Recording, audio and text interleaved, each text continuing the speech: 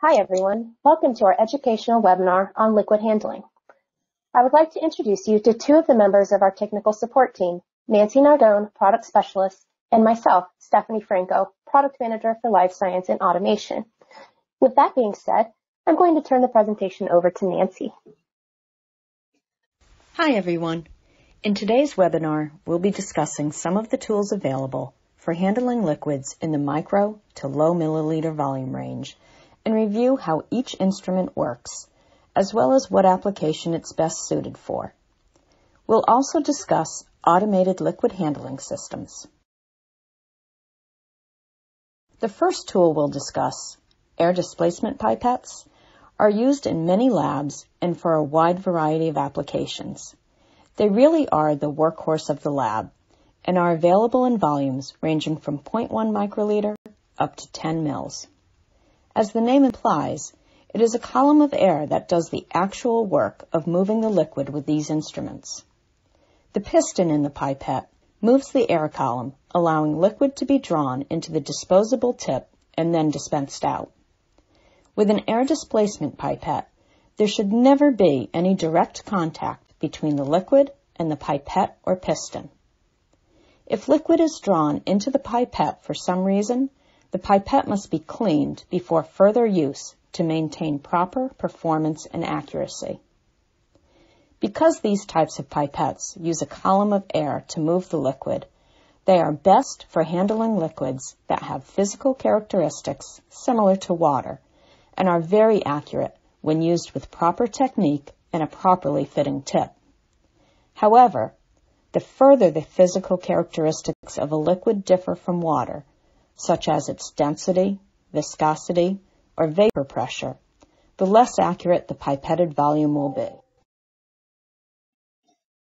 Air displacement pipettes can be either manually or electronically operated. Manual pipettes such as the Transferpette S, are available in both single and multi-channel models. Single-channel pipettes can be fixed or variable volume and can range from 0.1 microliter to 10 mils.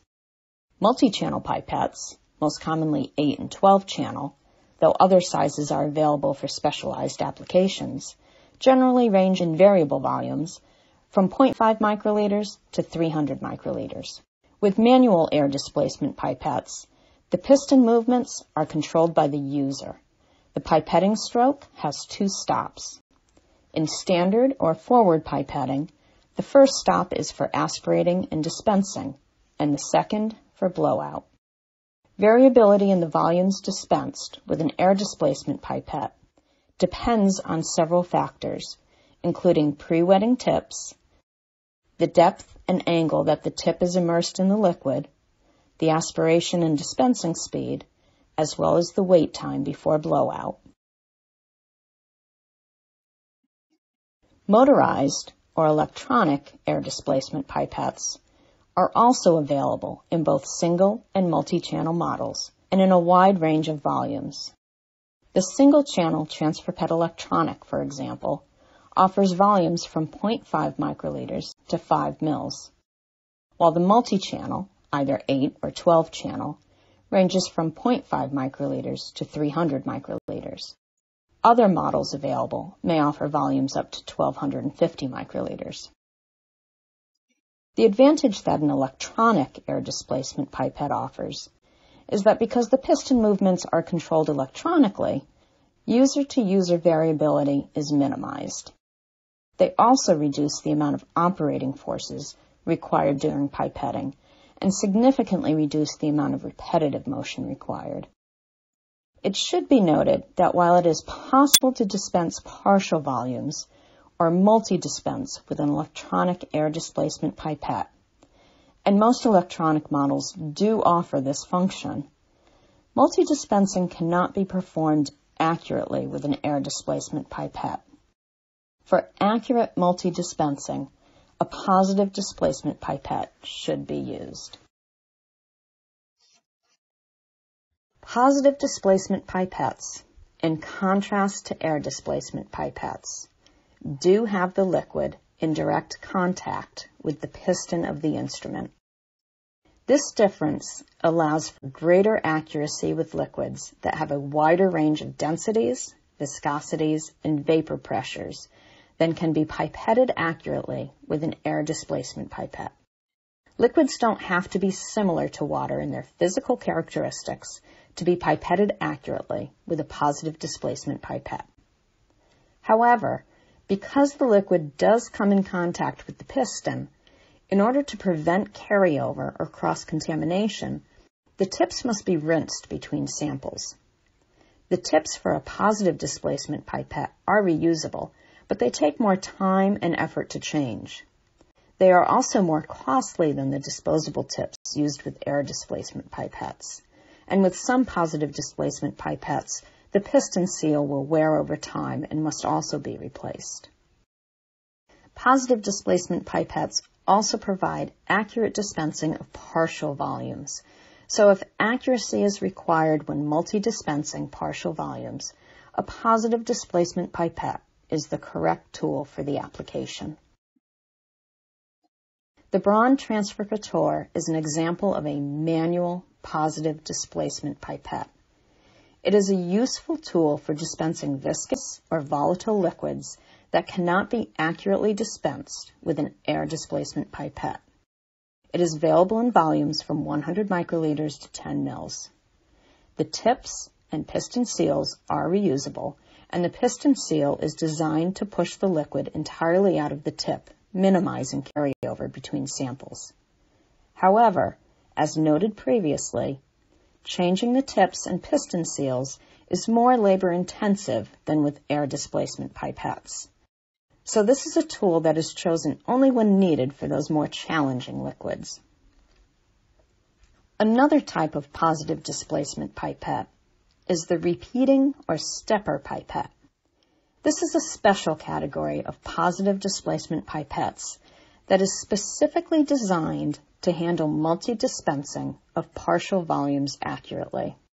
Since they are positive displacement pipettes, the liquid comes into contact with the piston of the tip used with the pipette, providing accurate dispensing of a wide range of liquid types. Manual repeating pipettes typically have a fixed number of intervals that they can dispense, traditionally 50, each representing 2% of the nominal volume of the tip. The user then would select between one to five of these intervals for each dispensing or step, giving some flexibility in the dispensed volume. More advanced versions allow for the addition of half intervals. For example, the HandyStep S can dispense 59 different volumes, ranging from 2 microliters to 5 mils, depending on the size of the tip used with the pipette, using nine step settings. Manual repeating pipettes are very simple, reliable tools that offer accuracy and convenience at an economical price point. Electronic repeating pipettes, such as the HandyStep Touch and Touch S, offer much more versatility than a simple manual repeating pipette. They offer more flexibility in volume setting and more options in functionality. With an electronic instrument like the HandyStep Touch or Touch S, it's possible to perform auto dispensing, sequential dispensing of different volumes, multi-aspirating of different volumes, and save favorites. Also, because the piston movements are electronically controlled, there is a wide range of speeds for both aspiration and dispensing, which is helpful for liquids that have a tendency to foam or bubble. And of course, an electronic instrument reduces strain due to repetitive motion, which can be an important consideration when repeat dispensing for long periods of time. So that covers the most common tools for handheld liquid handling. Now I'm going to turn over the presentation to Stephanie to have a discussion of automated liquid handling. Thank you, Nancy, for the excellent explanation of air displacement and positive displacement pipetting. So now that we've talked about manual and electronic handheld devices used to move liquids, let's talk about automated liquid handling. Liquid handling automation differs from handheld pipetting in that it uses a robotic system to move liquid from a source to a destination. Automated liquid handling systems includes a wide range of instrumentation from robots that take up very little space to those that can take up a whole room. Some systems, like the BRAND liquid handling station, use air displacement liquid ends, which are suitable for many types of liquids. They have the ability to reproducibly compensate for liquids that would be a challenge with manually operated instruments. However, you do want to avoid chemicals that may be damaging to the materials and components of the instrument. The volume range for pipetting robots can range from nanoliter to milliliter volumes, and sources and destinations can range from something as small as a PCR tube to a 96, 384, or 1536 well microplates. For larger volumes, you can use reservoirs that may hold up to, say, 240 milliliter capacity. Additionally, you will find a wide range of system structures. Some systems are not enclosed, but this can pose pose problems for sample as well as user safety. Other systems, such as the BRAND Liquid Handling Station, are enclosed for enhanced sample and user protection. Traditionally, robotics in the lab have been reserved for highly repetitive and extremely high throughput and complex procedures. However, systems are now available with a wide range in size and capacity that makes robotics available and sensible for even low to medium throughput procedures. So what are the benefits of using automation for liquid handling versus using manual or electronic handheld pipettes? First off, installing liquid handling automation in your lab can offer tremendous benefits for time.